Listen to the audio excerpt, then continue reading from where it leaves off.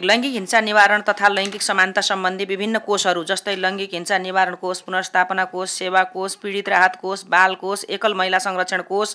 आदि कोषहरूको प्रयोग लैङ्गिक हिंसा निवारण वा न्यूनीकरण गर्नेतर्फ परिचालन हुनुभन्दा लैङ्गिक हिंसा पीडित प्रभावित वा जोखिममा रहेकालाई तत्कालको लागि क्षणिक राहत प्रदान गर्नु रहेको देखिन्छ। वात्सल्य नेचुरल आइभीएफ आधुनिक चिकित्सा उच्च सफलता दर अन्तर्राष्ट्रिय स्तरको उपचारद्वारा सन्तान प्राप्ति सम्भव छ। लैङ्गिक हिंसा न्यूनीकरण वा निवारणका लागि गर्नुपर्ने जति जनचेतनामूलक कार्यहरू हिंसा गर्नेलाई दिइने दण्ड सजायको पुनरावलोकन गरी समयक समयिक रूपमा कानुनमा सामूहिक रूपमा कानुनमा सुधार गर्ने सूचना प्रविधिको प्रयोगको सन्दर्भमा हुने हिंसालाई समेत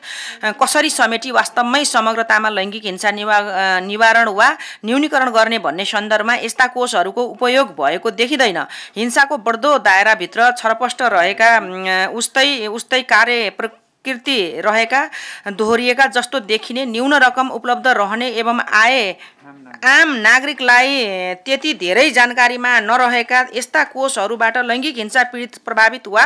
जोखिममा रहेकाहरू लाभान्वित भएका छन् वा हुनेछन् भनी अनुमान गर्नु यथार्थभन्दा पर नहोला भन्न पनि सकिँदैन। तसर्थ समितिको यो बैठक लैङ्गिक हिंसा सम्बन्ध छरिएर रहेका कोषहरूलाई एकीकृत गरी व्यवस्थापन गर्न कोषमा पर्याप्त रकम उपलब्ध गराउन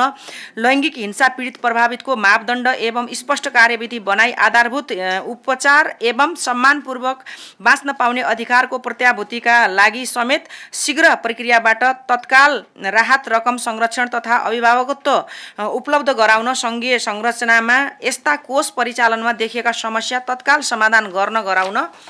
समिति नेपाल सरकार प्रधानमन्त्री तथा मन्त्री परिषदको कार्यालय गृह मन्त्रालय अर्थ मन्त्रालय तथा आवश्यक समन्वयका लागि महिला बालबालिका तथा ज्येष्ठ नागरिक मन्त्रालयलाई निर्देश गर्दछ। हिंसामुक्त समाज निर्माणमा राज्यको भूमिका प्रमुख रहन्छ। कुनै पनि प्रकारको हिंसा निवा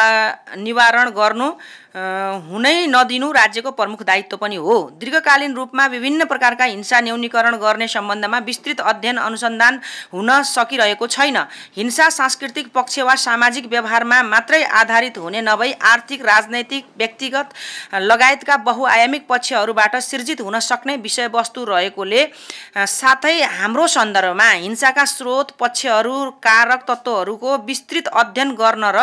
निवारणका उपायहरू पहिचान गरी कार्यान्वयनमा ल्याउन समेत समिति महिला बालबालिका तथा ज्येष्ठ नागरिक मन्त्रालयलाई निर्देश गर्दछ।